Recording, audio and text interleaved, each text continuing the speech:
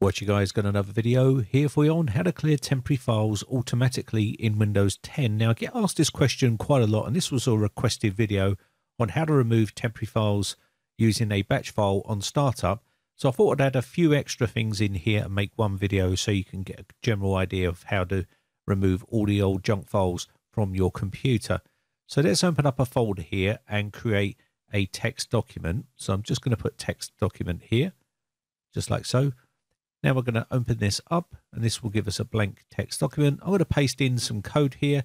This code will delete temporary internet files, temp files and other recent activity and loads of other bits and pieces from the computer on startup when I set this up. So let's put in here pc-cleanup, something like that, dot bat. We need to put dot bat here because it's a batch file and then change the text document to all files and click OK. We can close these off now and you should now see a text document which we don't need anymore. And this is our batch file. We've just created it. I'll leave all the code in the video description for you so you can use that code and create your own batch files just like this one. Now to get this to work on startup, we need to create a shortcut. So right click on it and go to send to and then desktop. And we're going to send this uh, create a desktop shortcut for this particular batch file. Okay. And once we've got that done, we can now head over to our desktop and we'll look at our uh, shortcut that we just created. So this is the file right here. And we're going to right click on here and go properties on this file. And inside here, what we need to do is go to advanced here. It's on the shortcut tab. So go advanced and you should now see run as administrator. Click the tick in there and click apply and OK. And now we can cut this uh, shortcut here and put it into the startup folder on Windows 10 or any other version of Windows. So let's cut this file. So right click and cut, then go down to the start button here and right click on the start button and go run. Now we need to put in here shell colon startup and click OK. This will take us to the startup folder. We can right click and paste that shortcut inside that folder here. Now when we reboot our PC, this will automatically run as administrator and start cleaning out all the temporary files on boot up. So here we are, I've rebooted the system and the script is now running on startup and basically it's going to remove a bunch of different files. Now the downsides of running scripts on a computer at startup is the UAC. If Windows 10 has user account control settings set up, which means on boot up, it's going to ask for uh, permission to run. And that is the downfall side of UAC with a script method like this. That's why I wouldn't advise you to use scripts on startup like this because you will need to say yes to the user account control. And uh, if you disable it, it will run, which I wouldn't advise you to disable UAC in the first place.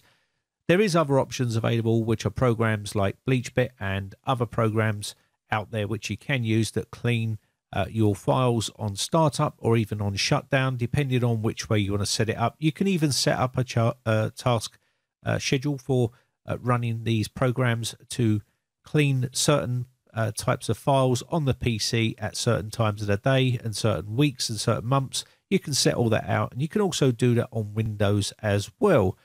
This is probably my go to program for cleaning off junk off the PC nowadays. BleachBit is a pretty good program and uh, you can set it up to be as aggressive or as lenient as you like, uh, i.e., uh, you know, scrubbing the files and get rid of them that way. If you want shredding folders, it depends on how aggressive you want to go with that, and you can do that with a lot of other programs as well. Uh, really, you just want to clean the files off. You shouldn't have to do uh, all the other stuff like shredding and wiping free space and all that. It's just a really long-winded way of cleaning your PC, and it's just basically going to take quite a long time because it needs to do certain amount of overwrites on those files to delete them. Now, Windows does have a built-in program as well, which I've covered. I just want to show you this quickly just to make sure you understand what this is.